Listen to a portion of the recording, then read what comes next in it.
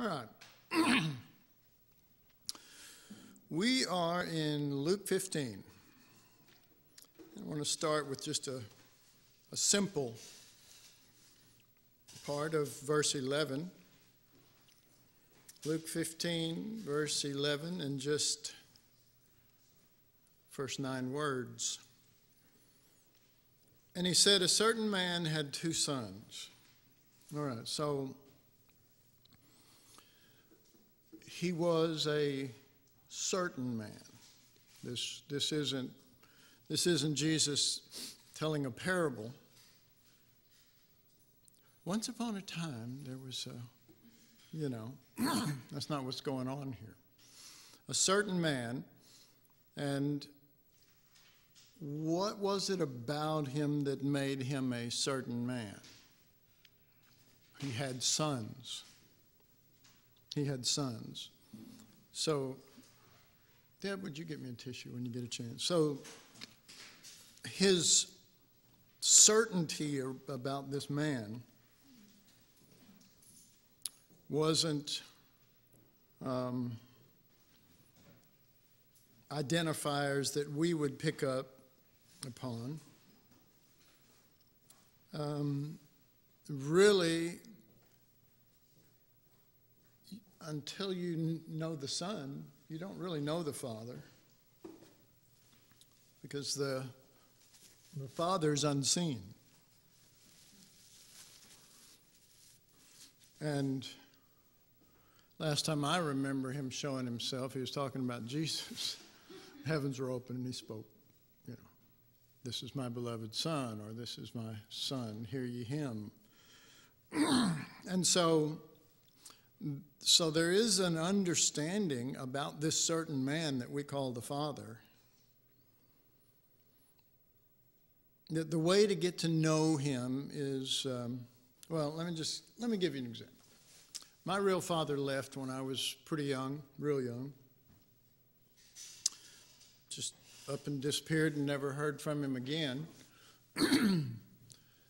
and when I was in my 40s, um, I guess we were in Costa Rica ministering. At the time, both Deb and I were there, and Nisi called us and said, Well, some lady called us and said that your dad is in the hospital and maybe dying.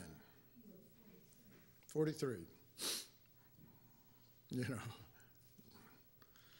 So, anyway, we, we walked through the whole thing and ended up going down to the hospital down on the on the Gulf, and you know, as I thought about it, I thought, what am I going to say? I mean, you know, we can't throw the ball. You know what I mean? Can't throw the football. I mean, we can't talk about our favorite team or what you did. You know, I mean, not not in the sense of a son. You can't. Total strangers. And um, I think that while that may sound like a sad story to some, I think that that's kind of all of our situation with the Father because we try to come up with ways of being fathered or of relating back to Him as Father. But you can't do that properly if you don't know the Son because it's the Son the Son that makes you a son. Nothing else. Nothing. You say, well, being born again. No, we're talking, we're not talking about being born again or saved from hell. We're talking about you cannot relate to the Father as a saved from hell person. A certain man had sons. And this relationship. And, and you can read that in Hebrews, that on the father's side of the, of the pendulum, um, Jesus went to the cross so that the father might have sons. It says that. And so you realize that with him, it's almost like, well, you know, it, his involvement with redemption was eventually not to just get us into heaven so that we're, we're not going to be burned up by the devil, but rather to get sons in the image of Christ. Um, so, so Jesus is certain about this man, a certain man. He's certain that the relationship with him, and, and, if, you, and if you read the story in Luke 15, you don't really see him involved with anything except his sons.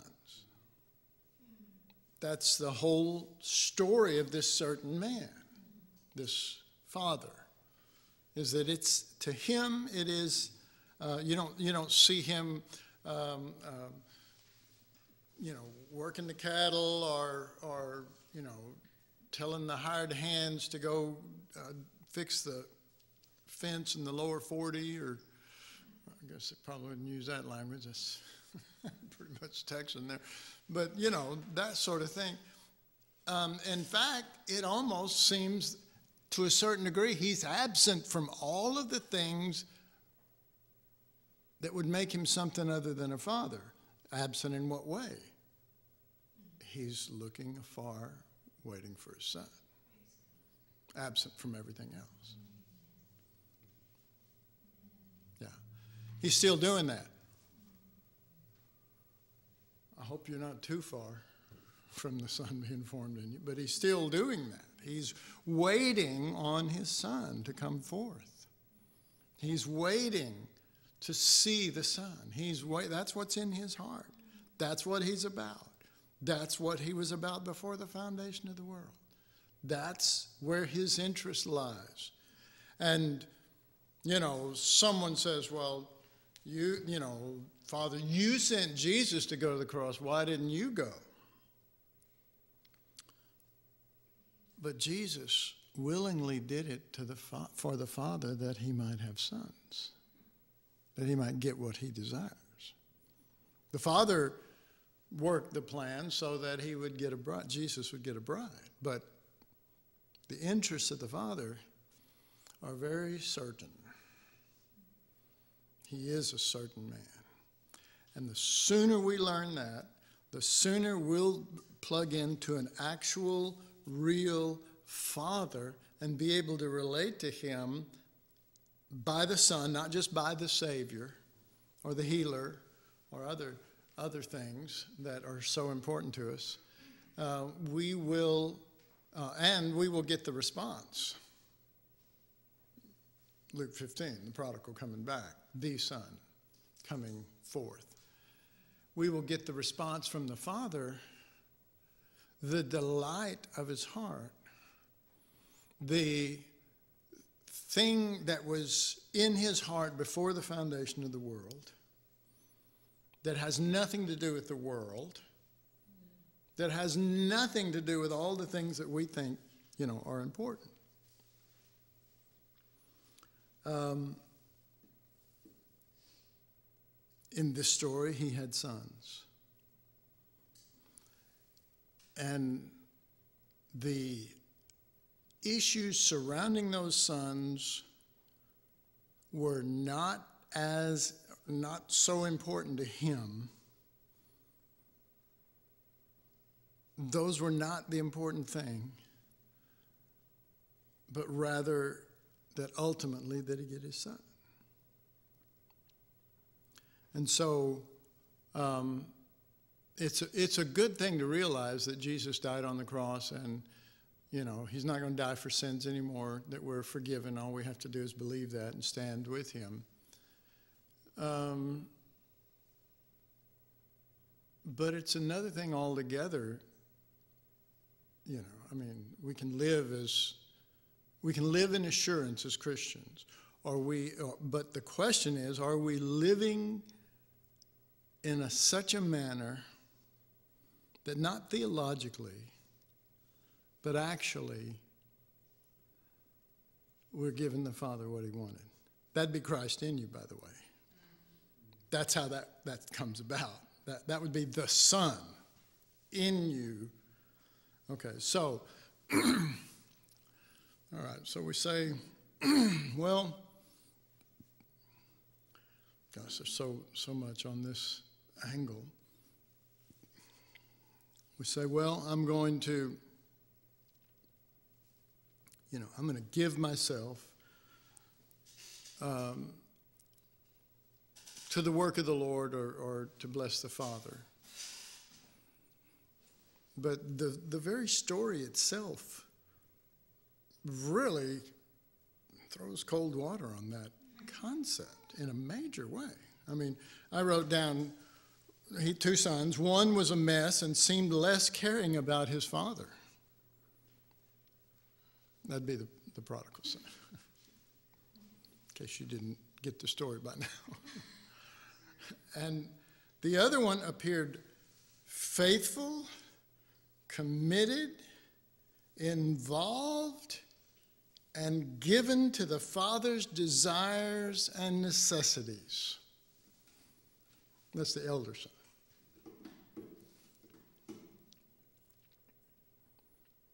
If, if, if you didn't know any better, I mean, by looking around you, could you spot which one's an elder son, which one's a prodigal, and which one it is the son? Or would you be fooled by faithful and committed? He didn't, I mean, he didn't leave. The elder son stayed there when the other son took off. And he worked the field, because that's where he's coming from doing the stuff on the farm or whatever it is. Involved and given to the Father's desires and necessities. Okay, so now that's, that's a little questionable, that last part. Because a lot of times when we can't find the living God, we can't find the living Jesus that lives, not at the right hand of the Father, but that lives in us. Uh, we seek and we pray and we read the Bible and we read books and we do all of this stuff, and we can't find that revelation, then it is easy to um, to say, well, the revelation is all the the information I've acquired over the years in church and reading and whatever. and to conclude that is to um, is to give up. Someone said to me recently again, you ever, Did you ever go to rehab? I said, No, that's for quitters. The elder son, I mean, the younger son, gave up. Just gave up, if that's us, or the elder son, gave up. Either one of them.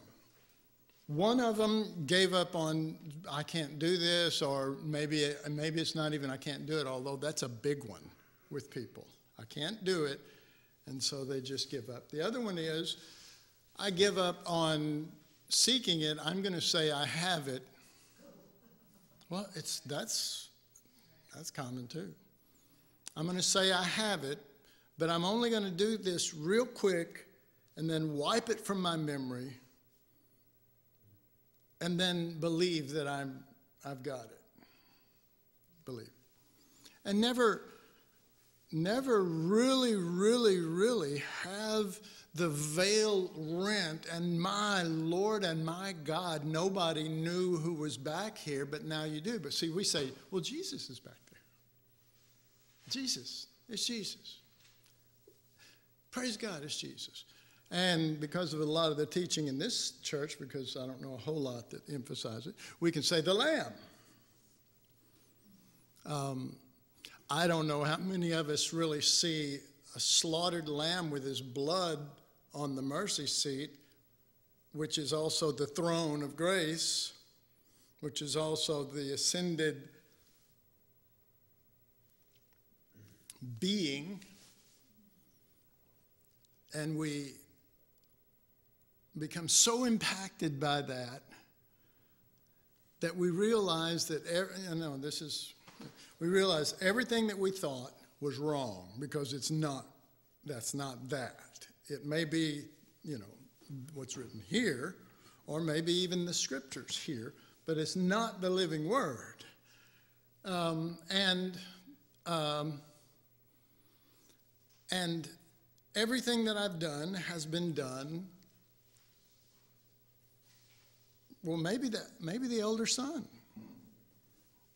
You know, maybe uh, I mean maybe surely he believed that everything he did was right and good and for God until the moment when somebody who didn't deserve it, which, by the way, is who, died, who Jesus died for, the ones who didn't deserve it.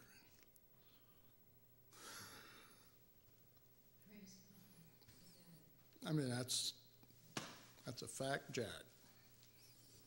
And he sees that, and, you know, I mean, if I had the elder son up here and the prodigal son, you know, uh, you know, which one, you know, ultimately brings the greatest joy, the greatest, you know, rejoicing to the heart of the Father?